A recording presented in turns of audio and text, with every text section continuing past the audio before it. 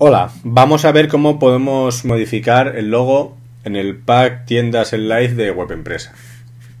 Nos referimos a este logo que se muestra aquí en la cabecera. Para modificarlo nos iremos a la administración de WordPress y entraremos en Shell Live Theme Options. Aquí en la primera pestaña General Settings Git Start tenemos la opción del Custom Logo y para modificar el logo primero borraremos el logo que tenemos actualmente pulsando en este símbolo y ahora damos a Upload para subir el nuevo logo.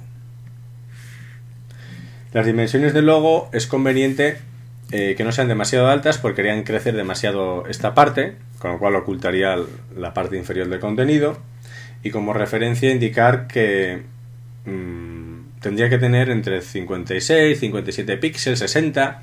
Siempre podemos ir probando diversos tamaños. Vamos a subir un nuevo logo que tenemos preparado y para ello lo arrastramos aquí dentro.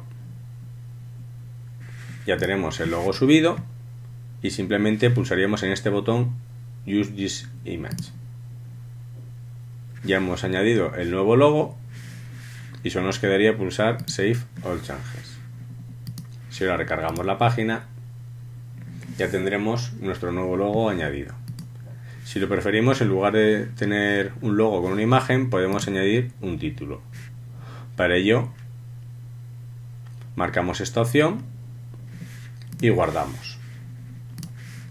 Cargamos y vemos que nos muestra el título de la propia página. Para modificar esto, nos tendremos que ir a ajustes generales. Estos serían ajustes propios de WordPress. Aquí podemos llamar mi tienda en el título del sitio y guardar los cambios. Ahora vemos que ya ha cambiado el título y si queremos podemos modificar el tamaño de la fuente y otros aspectos. Por ejemplo, en lugar de tamaño 70 podemos ponerle tamaño 40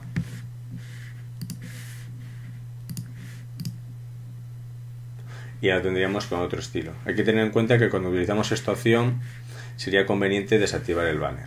En cualquier caso, suele quedar siempre mejor utilizar la opción de un logo como una imagen, tal como tenemos aquí, que daría un mejor aspecto a nuestra web.